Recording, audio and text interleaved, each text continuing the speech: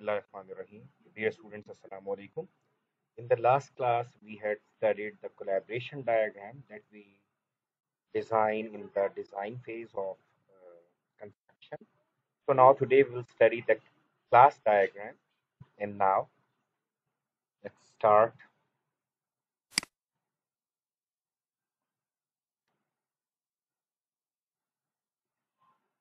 A UMS, UML class diagram gives an overview of a software system by displaying classes, attributes, operations, and their relationship. So simply we can say that in fact this diagram displays all the classes along with their attributes and the methods and the relationship between them.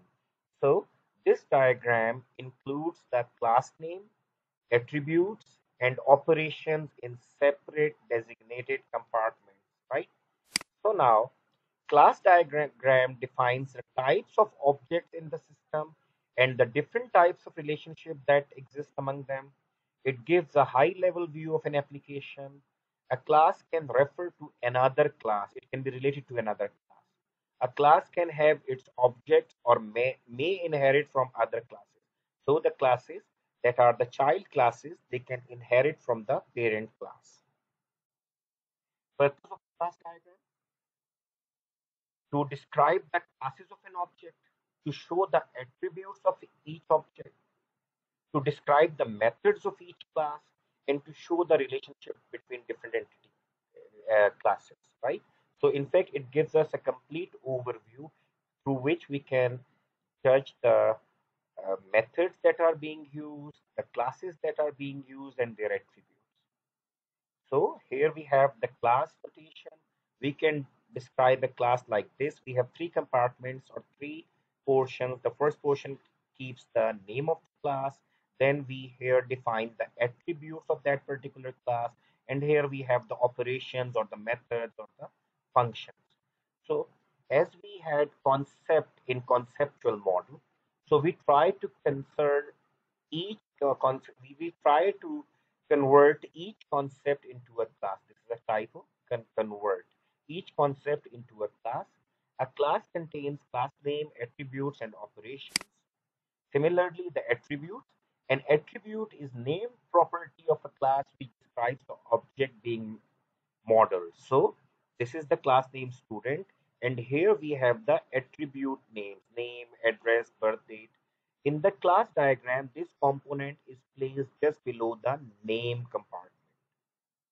Then we have association if two classes in a model need to communicate with each other, there must be a link between them and that can be represented by an association or a connector. So we can see that here we have two classes and this connector, this association in fact is the relationship. Association can be represented by a line between these classes as we can as we can see here and there can be different kind of association a single student can associate with multiple teachers. So one student can be taught by one or many. This in fact uh, shows the many. So one student can be taught by minimum one instructor and maximum many instructors. Similarly, an instructor may teach minimum one student and maximum many students. and then over here, one student can be taught by or learns from minimum one teacher and maximum many teachers. And one instructor or teacher can teach minimum one student or many students. So in this way, we can describe the association. And in the course of databases, we will study this in detail that uh, what is this uh, these, these these symbols in fact these symbols are cardinalities and we will study the optional cardinality the fixed cardinality, maximum cardinality, and minimum cardinality.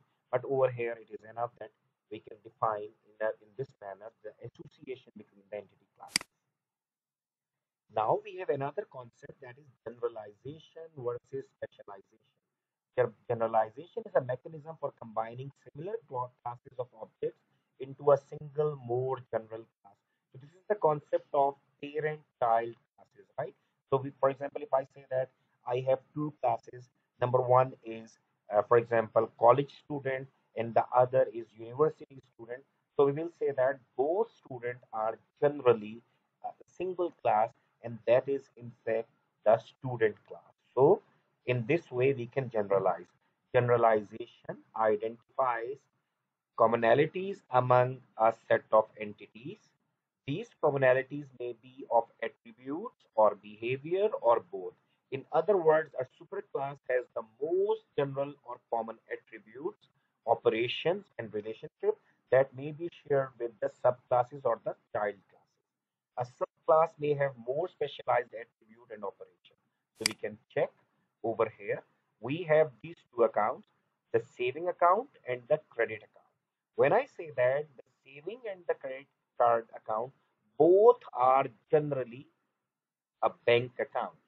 So in fact, this is the process when we move from the specific to general, this concept is known as generalization. You can see over here too. There is generalization is from the specific to the general. So if I say that I have a daily wager employee, a permanent employee, so we will say that permanent employee and daily wager are generally employees. So employee class becomes the parent class and these are the child class classes and these in fact inherit from the parent class. And if I have a single class that is bank account and I say that I must find out the specialized entity classes. So what will I do? I will I will try to find out the bank account can be of two types. Number one, saving account and credit card account. So I am moving from a single general class to multiple specialized classes. So here this is known as specialization. So this is the difference between the generalization and the specialization. So generalization versus inheritance. So the first thing was generalization versus specialization. Now here generalization versus inheritance. Generalization is the term that we use to denote abstraction of common properties into a base class in UML. We have studied that we take the common things from the base class, these are children, and these child classes give us the common attributes and we make a general class. So it says in this manner we make the general class. The UML diagram generalization association is also known as inheritance. So when we talk about the generalization in UML diagrams, we also we also know uh, call them the inheritance. This, this concept is known as the inheritance. When we implement generalization in a programming language, it is often called inheritance instead of generalization, right? Generalization and inheritance are the same. So these both are same, but while programming we call it inheritance, while modeling for the database we call it the generalization, and modeling it for the UML we call it again inheritance. The terminology just differs depending on the context where it is being used. So for the programming, inheritance, for the modeling in the database, generalization. So here we have another example. Here we have a class bank, ATM, customer, account. So now we can see the same symbols over here, right? So one customer can have minimum one account or maximum two accounts. One account belongs to only one customer. And over here we can find out the generalization. We have current account, we have saving account, and both are forming an account. So this is the parent class, these are the uh, child classes. And now, in fact, this diagram describes the each class, its attributes, and the methods being used, right? So now this diagram is the class diagram for an ATM. So your uh, student activity or the homework, draw a detailed class diagram for your class project. Whatever you're doing in your class project, now you will have to draw a detailed class diagram that will contain all the entity classes, all the attributes, all the methods, and then you will submit it in the next class. Thank you.